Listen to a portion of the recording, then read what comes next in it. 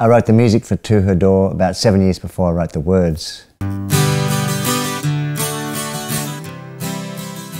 I got the tune first on piano and recorded it on a, on a cassette, which is my main method of um, writing songs, getting ideas, just, just putting tunes onto, onto tape and then singing melodies over the top. So I, I didn't really have any particular words for it, but it was just a tune that I'd stored on one of many, many cassettes that, that I used to build up over the years.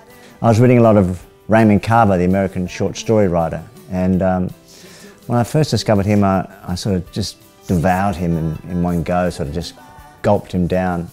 I loved his writing, I loved the way that his stories seemed to end in a really open-ended way.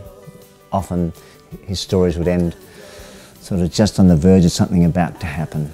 Um, there was always things around the edges that uh, informed the story.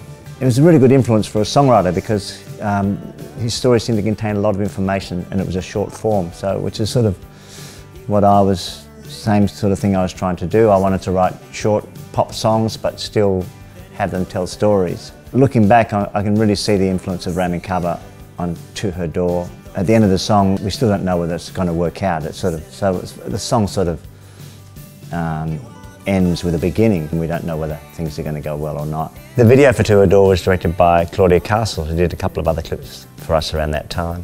Pretty simple video, mainly a performance clip with, with uh, some actors referencing part of the story. For some reason I'm in a singlet, I guess it must have been hot. I met my second wife Kaarin Fairfax who was acting in the clip as, as the wife in the song and my son Declan is also playing uh, the child or one of the children.